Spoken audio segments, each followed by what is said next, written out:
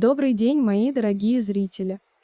Уже конец лета, скоро наступит осень, и сегодня я расскажу вам о сидератах. Я уже почти собрала свой урожай, хотя где-то еще что-то растет, но это не так важно. На грядках, освободившихся после уборки урожая, я обязательно сею сидераты. Посев сидерат повышает плодородие почвы, улучшает ее структуру и делает ее влага- и воздухопроницаемой.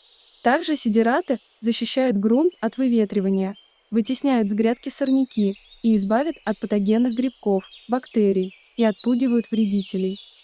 Сидераты быстро наращивают свою сочную зеленую массу, поэтому ранний посев сидерат позволит к осени оздоровить почву и обогатить ее питательными веществами. Сидераты можно высевать не только на полностью освободившихся грядках, но и одновременно с остатками еще не собранных растений, с основными культурами, например, в междурядье картофеля, либо в приствольных кругах деревьев и кустарников.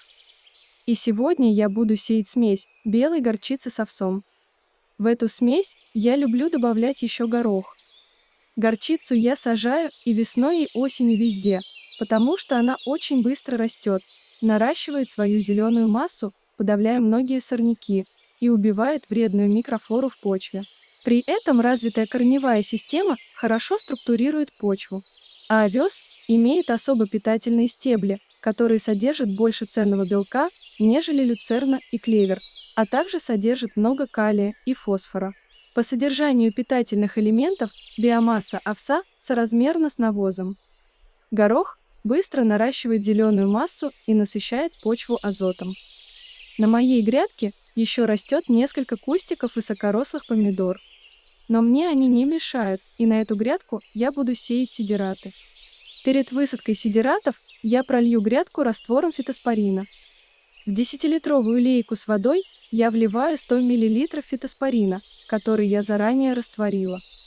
Проливаю грядку раствором фитоспорина по влажной почве. Фитоспорин я покупаю всегда пастообразный. Он более эффективный, чем порошком, и в разведенном состоянии очень долго хранится. Это отличный фунгицидный препарат, который защищает растения от разного рода вредителей, а также от бактериальных и грибковых инфекций. Это натуральный препарат, который также эффективно дезинфицирует почву. И, конечно, эту грядку, где росли помидорки, надо обязательно обеззаразить. Затем грядку можно взрыхлить, а можно и не взрыхлять, главное, чтобы почва была влажная. Остатки мульчи, которые остались на грядке, не убираем, они нам не мешают. Сидераты сею густо, прямо на поверхность почвы. Важно, чтобы в дальнейшем почва оставалась влажной, поэтому до всходов ее нужно регулярно поливать. Кстати, остатки мульчи помогают защитить грядку от пересыхания. Немного взрыхляю, и все готово. Главное теперь поливать грядку. Вот посмотрите, у меня на грядке еще растет сладкий перец, но я все равно сегодня посею на эту грядку сидераты. Пусть они растут. Также я взрыхляю землю между кустиками и сею сидераты.